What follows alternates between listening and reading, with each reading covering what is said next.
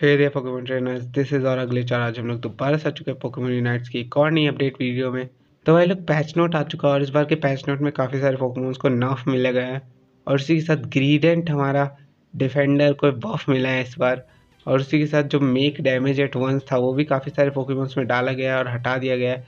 और स्पेशली अगर मैं नर्व्स की बात करूँ तो इस बार नर्व हमारे ग्लेशियन को मिला है अम्ब्रियन को मिला है मिराइडोन को मिला है और उसके साथ क्लफेवल को भी नर्व मिला है इस बार। प्लस हमारे इंटेलियन को नर्फ कर दिया गया है इस बार। और बफ्स की बात करूँ तो चार्लिजार्ड को बफ मिला है इस बार। क्रीडेंट को बफ मिला है, ये तो मैंने बता दिया था। और उसी के साथ सिजोर को बफ मिला है। और इसी के साथ कुछ हिडन चेंजेस है ऑफिशियल नोट में, जो कि गैरेडोज और सिजोर के बूस्टेड अटैक से रिलेटेड है। तो आज की वीडियो में हम लोग इन्हीं सब अपडेट्स के बारे में बात करने वाले हैं। तो वीडियो काफ़ी मज़ेदार रहने वाली है एंड तक बने रहिएगा। चलो वीडियो स्टार्ट करते हैं, बिना किसी वक़्त के। तो सबसे पहले हमारे चार्लिजार्ड के बेसिक अटैक को बफ किया गया। है जिसका बेसिक अटैक 27.5 परसेंट अटैक था और उसको 30.8 परसेंट अटैक कर दिया गया है। तो चार्लिजार्ड को ये बेसिक सा ही बफ मिला है, पर बहुत अच्छा है, क्योंकि उसका बेसिक अटैक ही सबसे ज़्यादा इंपॉर्टेंट होता है। अगर उसकी यूनाइट मूव यूज़ करने के बाद यूज़ करें तो उसका बेसिक अटैक बहुत ज़्यादा इंपॉर्टेंट हो जाता है। और इसके अलावा मार्चम्प लुकारी और हुपा का जो मेक डैमेज एट वंस था, उसको हटा दिया गया है। अब मेक डैमेज एट वंस जिसको नहीं पता है तो वो भी मैं बता देता हूँ। ये कुछ कुछ पोकेमोन्स हैं जिनका जो बेसिक अटैक है, उसका डैमेज जब वो लोग देते हैं तो कंटिन्यूस दो चार सेकंड तक पड़ता रहता है, जबकि वो लोग, उन लोगों ने डैमेज तो सिर्फ़ एक बार दिया है। तो उस टाइप के जो जो पोकेमोन्स हैं, उन सब का डैमेज इस मेक डैमेज एट वंस में कम किया गया था तो उस चीज़ को अभी के लिए माचम्प लुकारी और हुपा से हटा दिया गया है। एजुमेरल के साथ थोड़ा सा बेकार हो गया, क्योंकि उसका जो प्ले रफ की एबिलिटी है उसका मेक डैमेज एट वंस को एनेबल कर दिया गया है। यानी अब उसका प्लेयर ऑफ़ से सिर्फ़ एक बार डैमेज पड़ेगा मल्टीपल डैमेजेस नहीं पड़ेंगे। तो एजोमेरल के साथ थोड़ा सा बेकार हुआ है, पर ठीक है, क्योंकि एजोमेरल वैसे भी बहुत स्ट्रॉन्ग है तो एक एबिलिटी से कुछ नहीं होता। और इसके बाद ग्रीडेंट के बुलेट सीट को बफ कर दिया गया। जैसा मैंने आपको बताया था कि ग्रीडेंट को इस बार बफ दिया गया है तो उसके जो बुलेट सीड है, उस मूव को बफ दिया गया है। तो उसका डैमेज पर सीट जो है, उसके स्टैट्स को इंक्रीज़ किया गया है। और फिर लेवल 13 पे उसके बुलेट सीट का डैमेज फिर से इंक्रीज़ कर दिया गया तो ये बहुत अच्छा चीज़ है क्योंकि ग्रीडेंट के इस मूव को लोग यूज़ करते तो हैं और डैमेज इंक्रीज रहेगा मतलब ग्रीडेंट इस बार बहुत अच्छा पोकेमोन हो सकता है। और मैंने अभी हाल फ़िलहाल में एक वीडियो बनाई थी जिसमें मैंने टॉप टेन पोकेमोन्स बताए थे टेन थाउज़ेंड कॉइन्स के अंदर। तो मुझे लगता है उसमें मैंने ग्रीडेंट नहीं बताया, मुझे ग्रीडेंट को भी बताना चाहिए था क्योंकि उसको इतने अच्छे बफ्स मिल गए हैं। तो अगर जो भी दस हज़ार कॉइन्स के अंदर ख़रीदना चाह रहा है तो आठ हज़ार का हमारा ग्रीडेंट है। जाओ और परचेज कर लो।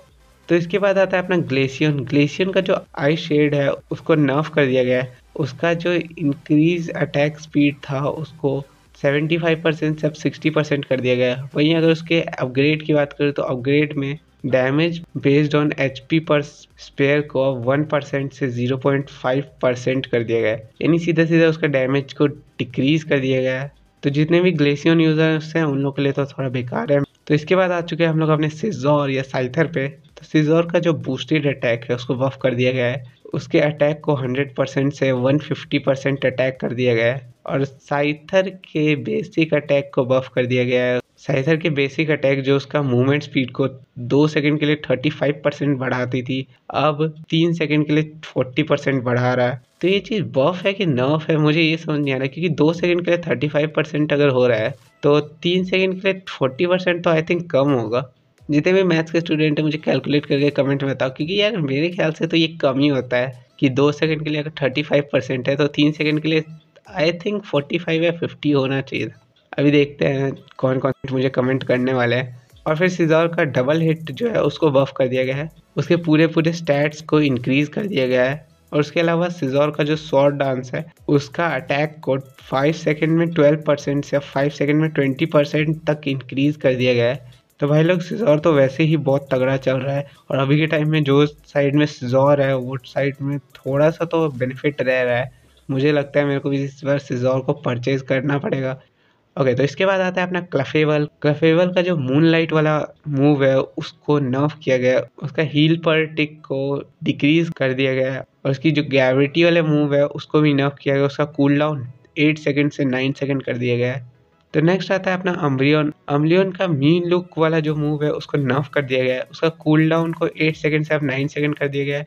रेंज को फाइव मीटर से फोर मीटर कर दिया गया है। मैक्स अटैक डिस्क को 5 मीटर से अब 4 मीटर कर दिया गया है। सेकेंड अटैक डिस्टेंस को 6 मीटर से 5 मीटर कर दिया गया है। मैक्स सर्च डिस्टेंस को 7 मीटर से 6 मीटर कर दिया गया है। पूरी तरह से मैं बोलूँ तो अम्ब्रियन को बहुत तगड़ा नफ किया गया है। उसका मेन लुक वाला जो मूव है, उसको सही से बोलूँ तो पूरा का पूरा नफ मार दिया गया है। कुछ भी उसमें नहीं छूटा अभी। और अमरियन का जो स्नर्ल वाला मूव है, उसका crease in attack and special attack जो है, उसको फोर परसेंट से थ्री परसेंट कर दिया गया। और इसी के साथ जो उसका फाइनल शॉट होगा, उसका decrease in attack and special attack को ट्वेंटी परसेंट से अब फिफ्टीन परसेंट कर दिया गया। और इसी के साथ मिमिक्यू का बेसिक अटैक में भी मेक डैमेज एट वंस को हटा दिया गया है। तो ये चीज़ मिमिक्यू के लिए तो बहुत अच्छी है, क्योंकि मिमिक्यू में तो मेक डैमेज एट वंस वैसे भी नहीं होना चाहिए। फिर बात करते हैं इंटेलियन का तो इंटेलियन को नर्फ दिया गया उसके स्नाइपर शॉट का डैमेज डिक्रीज कर दिया गया है। क्लोज रेंज में मिड रेंज में और फार रेंज में तीनों के लिए। और इसके बाद आता है अपना गैराडोज तो गैराडोज के बाउंस मूव का अफेक्ट रेंज को टू मीटर से टू पॉइंट फाइव मीटर कर दिया गया तो ये चीज़ गैराडोज के तो अच्छी है।